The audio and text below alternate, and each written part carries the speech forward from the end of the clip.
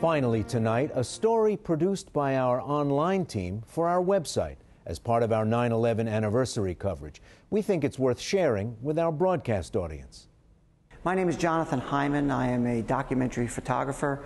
Uh, I've spent the last 10 years, five years full time since starting with the day of the attacks, documenting the uh, vernacular response that people made through artwork uh, in response to the September 11th attacks. It was this kind of rare intersection that Americans in the past haven't had much practice at. Uh, we haven't been subject to wars very often on our own territory or attacks on our own territory. And I realized that there was this very interesting intersection between people who wanted to express their private emotions but do it publicly.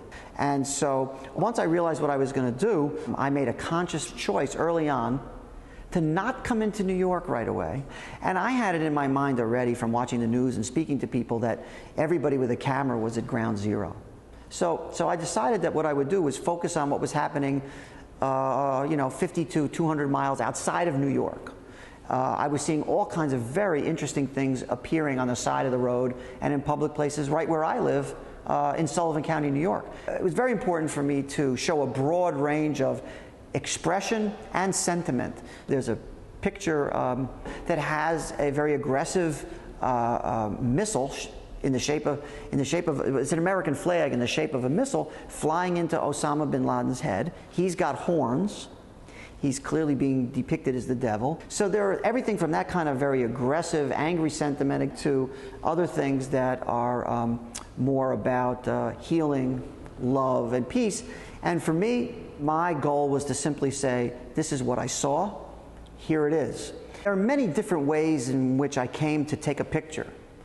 Uh, sometimes I would pick an area and drive around if I suspected that that area would, would, would have murals or people with tattoos. I would go to fire stations, police stations, ambulance buildings, uh, American Legion halls, places where people will have been, would be likely to have either known about some kind of 9 11 uh, response in public, or they might know someone who did. And so these kind of informal conversations that I had led me to objects that I would have never found. The uh, subject of this tattoo is a deeply private person. Uh, I was able to convince him that I, you know, my intentions were pretty good, and you know, we made an agreement, by the way, no pictures of his face.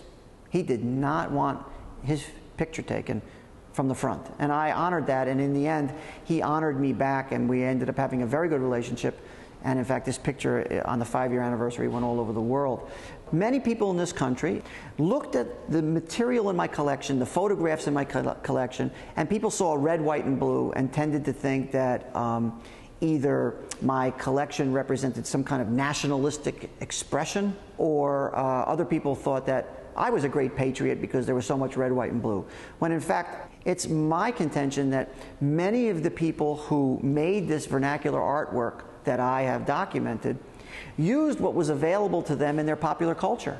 These are people who, for the most part, with the exception of some of the muralists, not all the muralists, heretofore have not had a self image as someone who can express themselves in public. They've never really made art, or they don't believe that they're artists or could ever be an artist. So they, they, they, they drew upon the things that, that they know.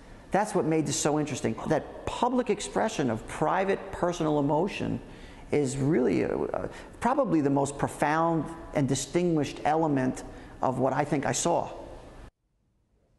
Jonathan Hyman's photographs are on exhibit at the Sylvia Wald and Po Kim Gallery in Lower Manhattan until October 8th.